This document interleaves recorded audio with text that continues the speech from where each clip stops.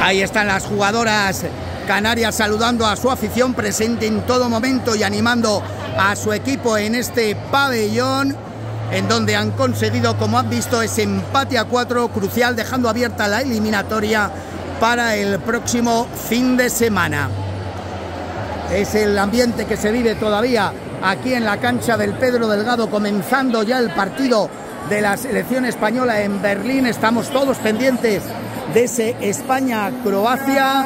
Vamos a escuchar todavía alguna de las protagonistas segovianas, al igual que al propio Agustín Pérez, ahora en los micrófonos de Onda Cero Radio, al igual que la entrenadora en los micrófonos de la 8 de Castilla y León.